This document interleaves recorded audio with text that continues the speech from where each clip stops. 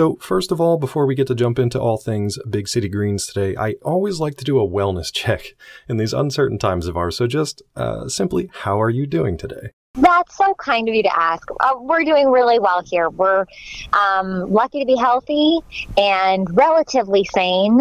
Um, going out for walks is helping a lot, calling friends, but you know, not too much to complain about. All in all, given everything that's going on at the world in the world at this time. Exactly. How is How your? are you doing? Oh, I'm great too. Thank you for asking. Um, Oh, good. how has your kind of uh, your professional landscape changed, if at all? I, I saw you posted on Instagram not too long ago. Uh, a shot from your in-home studio where you get to do all your kind of collaboration from. So, was that a big shift and a big change for you? You know, it wasn't for me. I mean, obviously, it, it, we used to go in to record um, Big City Green, so that that transition, um, you know, was made very early days um, of the pandemic, recording at home. But I, I didn't have a lot of setup to do. I actually already had that space. Um, I was just using it predominantly for um, auditions, and now it's uh, it's auditions, it's sessions, everything from home. Uh, there'll be the rare in studio um, day if there's a, a very specific technical requirement that a project requires, but otherwise, yeah, it's it's all from home. So.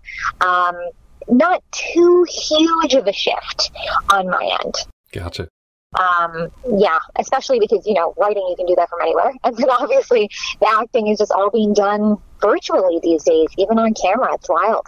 Yeah, absolutely. And since you mentioned writing, uh, secondly, the reason I get to talk with you today, we have a very special segment, an episode of Big City Greens coming up for you personally. More on that in just a moment. That's a good tease there for our listeners.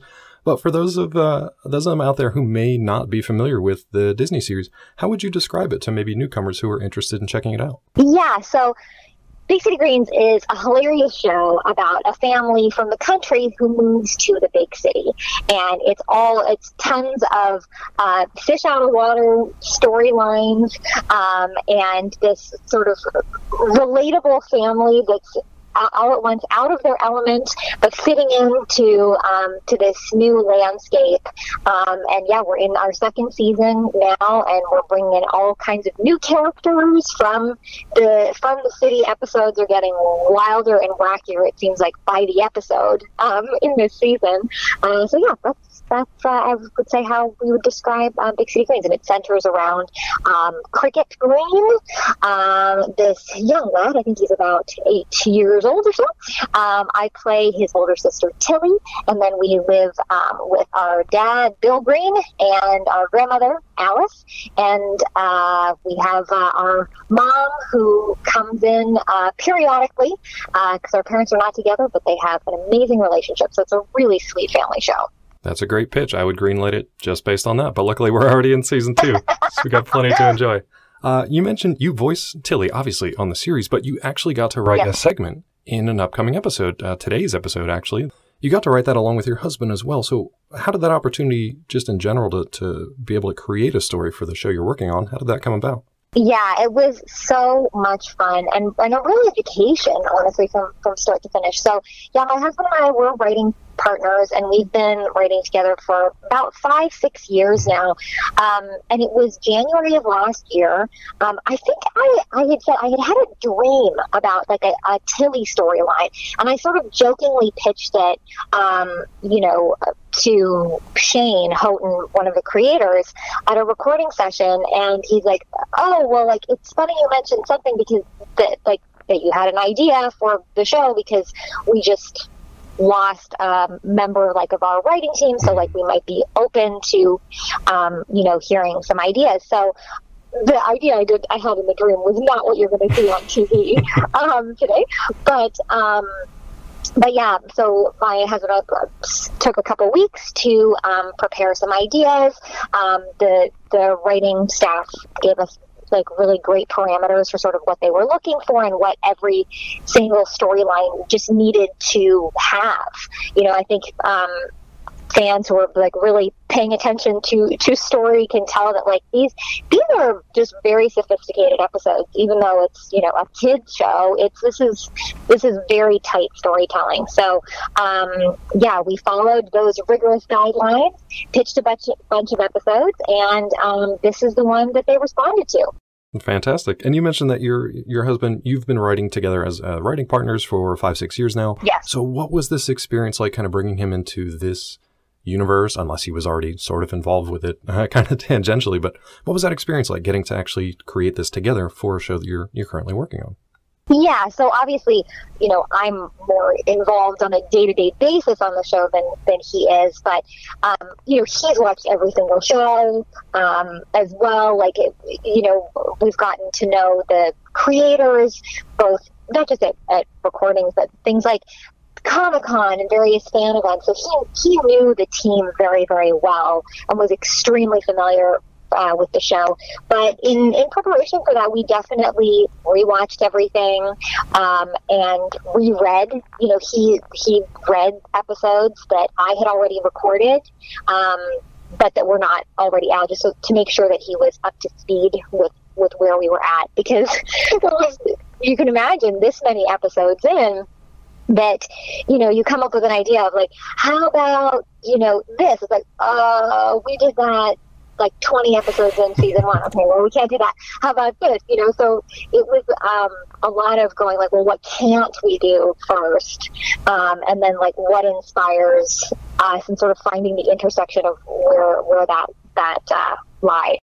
Gotcha. And this isn't, you know, this isn't your first go round with, with writing. You've written quite a bit for other projects like uh, Instagrammy, Pleasant Events. Yes. So, yeah, yeah. And those were your, you know, original creations. So how did this experience kind of writing for a, a kind of an existing story that you already had some influence on. How did that experience kind of differ for you personally and professionally? Yeah, I think I, I mean, like I said, it was just a really, a really good learning experience. I think to, um, and different than when you're steering the ship to jump into somebody else's vision.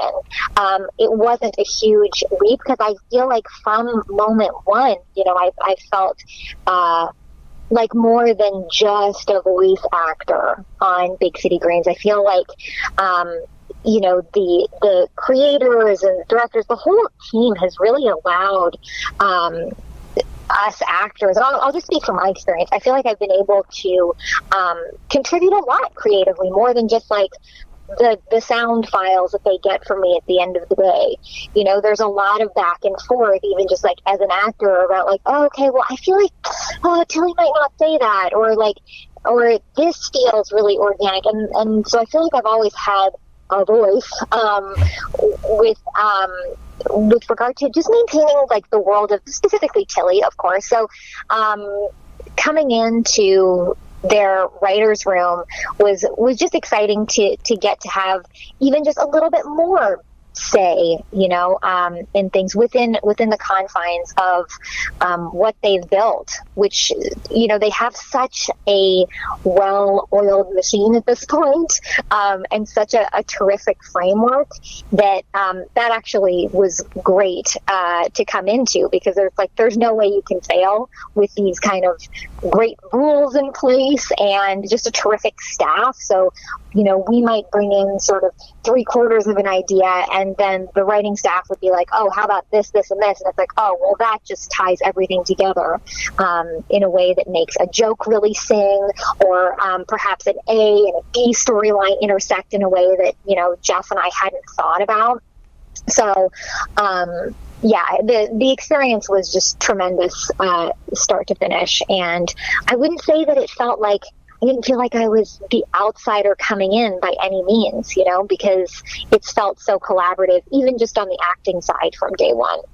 Definitely. And that collaborative kind of creative process really comes through too when you watch honestly any of the episodes, but specifically I was focusing on, you know, the story structure and like you said, the A, B, and C stories and where they intersect. All that teamwork coming together really makes a, a sharp uh, episode that's just fantastic from start to finish. Uh, oh, thank you. But since fans will get to see that particular episode tonight, mm, can you maybe tease some of the other ideas that you may have pitched or dreamed up that didn't quite make it? Unless they're kind of saving those for future episodes. I don't know. But maybe something else you could tease?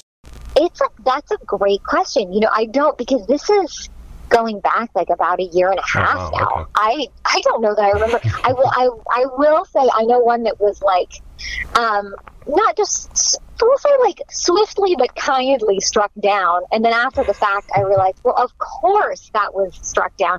We kind of pitched a paranormal um, uh, episode, mm. and um, where like the ghost actually did exist, and and then after the fact, I got like two, three months after, I thought no, at no point, like, of course that was swiftly struck down because the rules of the world are such that, like, anytime there's, you know, Tilly or Cricket or like think there's UFOs or whatever, like it's it's always something else. We're not actually dealing with um, real paranormal stuff.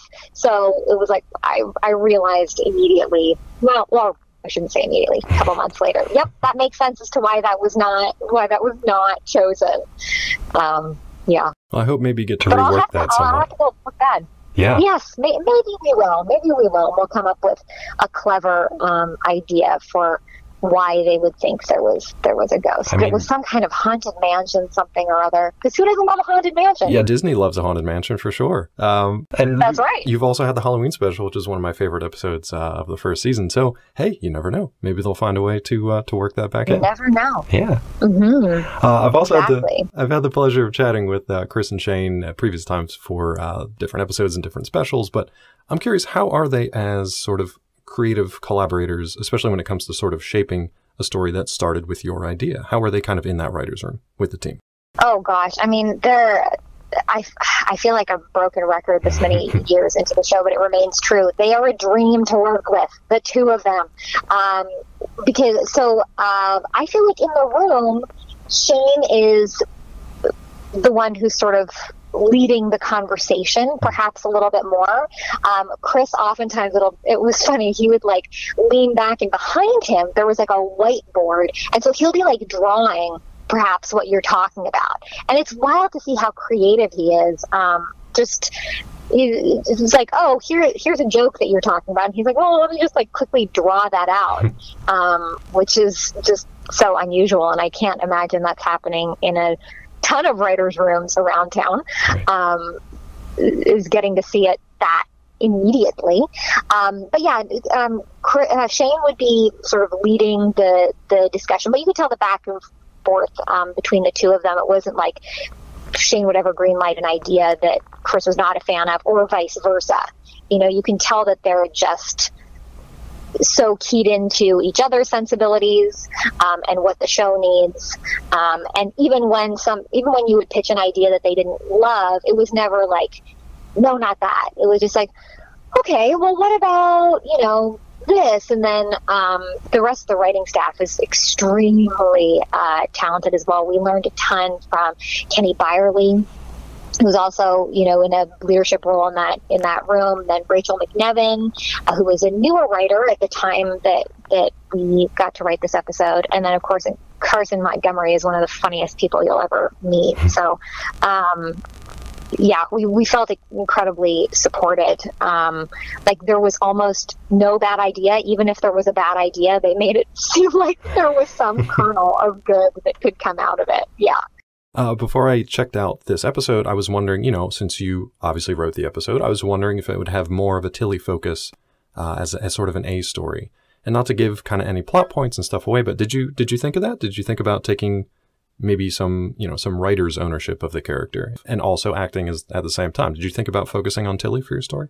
You know, when um, when uh, the news first, we were able to share the news that mm. like we co-written this episode. Um, and that's what Twitter said was like, oh my god, I guess it's good, that it's going to be a huge Tilly episode, and I was like, actually no, like yeah. Tilly has a really fun runner with Bill, um, which is just so endearing and speaks to her love of animals, but. Um, but no, I mean, I guess there were there might have been a handful because I think we ended up pitching um, eight episodes, mm. um, which each had you know ABC obviously to them. Uh, so there may have been some that were that were more Tilly centric, um, but not really. I mean, here's here's the thing with this show is I feel like I've I've gotten to express so much of Tilly that it's not like as an actor I was like I have to write myself something because I don't feel like I've got to flex, you know, this muscle or right. that muscle. You know what I mean? Yeah. So it was just sort of like um, the inspiration of the episode was really, you know, Jeff um, and I were talking about like what were sort of some of some of our favorite memories as kids, and what were sort of like what were those sparkly moments in our lives and so this this episode centers around um, remy's birthday party because we always felt like the birthday parties our friends birthday parties were such a highlight um, of the year, you know? Um, and especially now, I feel like the timing is ideal for it to come out at this moment where, you know, it's been a few months of kids not being able to go to their friends' birthday parties, host their own, blah, blah, blah. So at least they can live vicariously through cricket and Remy and Tilly and the kids. Exactly. And for those of us who don't, you know, we're still kids at heart, but we're not kids in real life anymore. We get to kind of live vicariously through those those super fun birthday parties as well. Maybe speaking for myself. Yeah, and let's be case. clear: the parents the parents are, are very involved oh, um, oh, yeah. with this uh, with this episode too. So, uh, Grandma's got just a, a really funny runner. I mean, Artemis Pebdani is there's nothing that she does that's not so so funny. Oh yeah, it was amazing. It was great to watch yeah. for all sorts. Yeah, of even if it's like a C line, a C yeah. storyline, she just pops in a couple times here or there, but she she brightens any scene she's in. Oh yeah, and it absolutely works. Was that part of your original kind of pitch, or was it something that kind of maybe came up in the collaborative process? Uh, that actually was um, more of a that was more of a last minute thing okay. because at that point we had pitched. Um, I think when we submitted our first outline, actually we um, we had we had a pitch that Grandma lost her glasses. Mm. Like somehow her glasses got um, a kid bumps into her, and the glasses um, get lost at the birthday party, and she has to go hunting for them. Um, but unbeknownst to us, and you know, this was sort of the disadvantage of being just a freelance writer and not on staff, is that you don't know what's coming up in the production pipeline. Right. Right. So they were like, uh, very quickly said, oh no, we have like a grandma like sight storyline coming up. So what else? What else can you come up with? So, um, so that was born of that like needing to pivot at the last moment. Yeah, well, what you came up with was fantastic. I can't wait for uh, fans to check it out. It's a it's a great, uh, even if it is a C storyline, it's great. Real quick. well, and let me yeah, tell sure. you, that was one of the things. That was one of the things that that was in the sort of like there's a handy guide that was given to us of like do's and don'ts and and how to how to craft a Big City Greens episode was even if it's a small thing, how can you make something feel really big and full of adventure? So I think that C storyline really speaks to that. Uh, guidepost yeah. is it's got to feel epic even if perhaps in real life it wouldn't be so epic that's fantastic i'd love get my hands on that. But uh, one of the things that i noticed from the show uh, not to give spoilers away again but i noticed a scene in which there are quite a few easter eggs from fellow disney animated series. And they kind of go by fairly quickly so you might have to watch it a couple times to, to check it. But if you know what i'm talking about was that your idea that you pitched or is it something that maybe the board artists and uh, animators came up with and worked in that was definitely a board artist oh, thing. Oh, cool. Um, the it's it's so I've I've learned like so much about the animation process just being on um, Big City Greens from day one because we actually had, they invited us actors to come and see a board pitch. Oh, cool. I think it was like six episodes or so in. So this is going back several yeah. years. Um, which because uh, I didn't even know that a board pitch was a thing. I had been on script driven shows before, mm-hmm. but not board driven shows. Um, so that's that's even another um, aspect. When I say co-written, I'm, I do not mean just with um, Jeff, you know, my husband and writing partner, but I'm I really mean with the board artists because it what a trip to get to watch the episode in advance and see like, oh, this was the story that we came up with, but then you added all these visual gags in, you know, that that we wouldn't have thought of. So like talk about just absolute uh, collaborative experience. And now I think this goes without saying, but it seems like you had a pretty good time uh, with this experience. So would you like to write more episodes in the future if that opportunity comes up? Oh yes, you got my number, Disney. yeah, it was it was great, and and um, you know, you always you um, look. I'm a big dork who loves to study everything that she's into, and there's only so much sort of school and writing of your own pilots and shooting of your own stuff. Um, that you can do. Um, and it's so great to get to collaborate with people who are so skilled in storytelling because that's just the best education there is, is just doing it uh, and getting to play with, with um, just these people who have such mastery of the craft. Uh, my last quick question for you today before I have to let you go. What else are you currently working on that fans of yours can look forward to? Sure. So at the moment, um, we are working on some fun sketches, some quarantine uh, uh, sort of centric sketches um, that Jeff and I are writing and shooting at the moment. So that will be, I'm sure we'll post about that on social media. Uh, very shortly. But in the time being, you know, obviously keep uh, keep tuning in to Instagrammy. We've got more coming out of that, and then uh, yeah, the wrapping up season two of Big City Greens, if you can if you can believe it. Already, we're at that point. Already, well, we've got more episodes to look forward to, and hopefully many more uh, in the years to come. So thank you again so much for your time today. Best of luck with your other projects. Thank you so much. And looking forward to more Big City Greens. Thanks again. Awesome. Thank you.